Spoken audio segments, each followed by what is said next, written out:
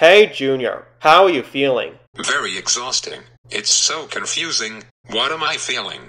You are feeling exhausted. Am I not getting a flu shot?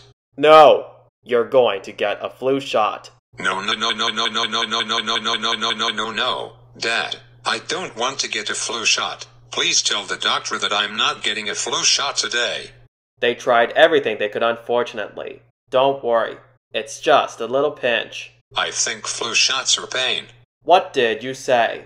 I don't think flu shots are real. But, Junior, you need a flu shot with a vaccine. But I don't want to get a flu shot, please. I don't want to get a flu shot today. Sorry, but you're going to get one today. Stop crying.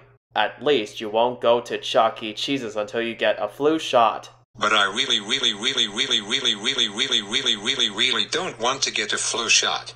It's too bad. You are going to get a flu shot and we'll be done.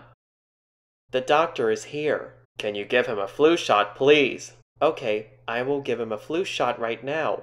Okay, Junior, I want you to calm down.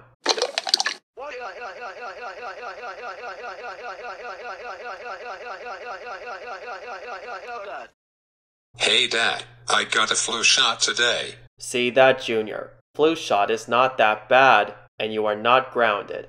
Let's go to Chuck E. Cheese's right now. Yay, Chuck E. Cheese's. Here I go.